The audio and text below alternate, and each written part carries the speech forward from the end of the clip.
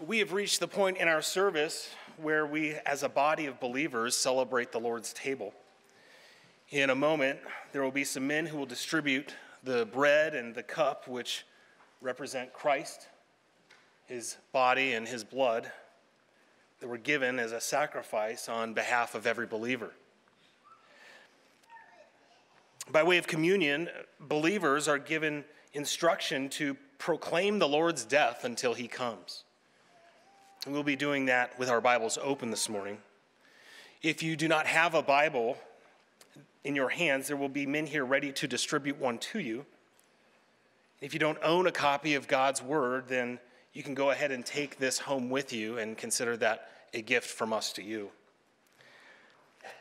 The purpose of communion is not to atone for sin, as there's no inherent power in the cracker and in the juice.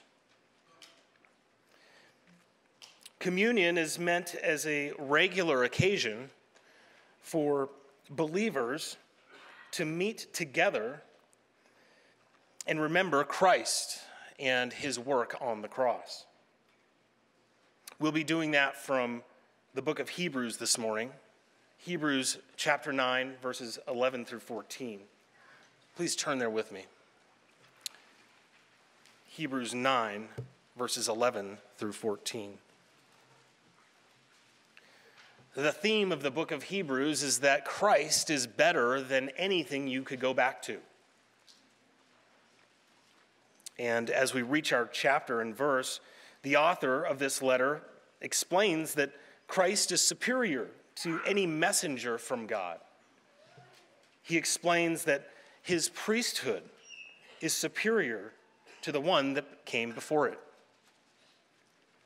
And after recalling in chapter 9 the regulations for worship by the sacrificial system of the Mosaic covenant, our author goes on to say that in contrast to what took place under that system, Christ, his sacrifice, is better than any that had been offered to God. That his sacrifice, it was a once for all sacrifice that did not need to be repeated. And that his work is a sanctifying one, and it's more sanctifying, more efficacious than the system that had been in place up to that point. Let's go ahead and read our passage this morning Hebrews 9, beginning in verse 11. But when Christ appeared as a high priest of the good things to come, he entered through the greater and more perfect tabernacle, not made with human hands. That is to say, not of this creation. And not through the blood of goats and calves, but through his own blood, he entered the holy place once for all having obtained eternal redemption. For if the blood of goats and bulls and the ashes of a heifer sprinkling those who have been defiled sanctify for the cleansing of the flesh, how much more will the blood of Christ, who through the eternal Spirit offered himself without blemish to God, cleanse your conscience from dead works to serve the living God? The only avenue to a clean conscience is salvation through the blood of Christ. Our passage gives us two reasons from that, for that from our text. The first is because, his, because of his superlative means of obtaining it. His superlative means of obtaining it. That is, God has always made provision for man to worship him, and for 1,500 years before Christ arrived on the scene, those provisions came in the form of the Levitical priesthood, along with all of the elements, the procedures, and the sacrifices which played a role in mediating between God and his people. But even those sacrifices that were offered over and over again for 1,500 years were not enough to cleanse the conscience from sin. the ceremonial preparation for worship was only skin deep because the provisions for worship were only earthly and temporal.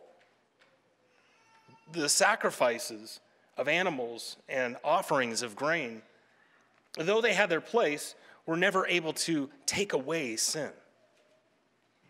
In contrast, when Christ offered himself as a sacrifice, his provision was eternal and lasting. Whereas every animal sacrifice was offered without physical blemish, Jesus Christ offered himself without any moral blemish. He came by means of his own blood. When his sacrificial work was finished on the cross, he didn't enter a tent within a tent, as the priest did. He presented himself before the throne of God in heaven. And because he was worthy to be a once for all sacrifice, he would never have to repeat it again. A clean conscience only comes by the blood of Christ because, number two, the efficacy of his sacrifice is superlative. It's superlative because the blood of Christ actually cancels the ledger of sin for everyone who puts their faith in him and his work on the cross.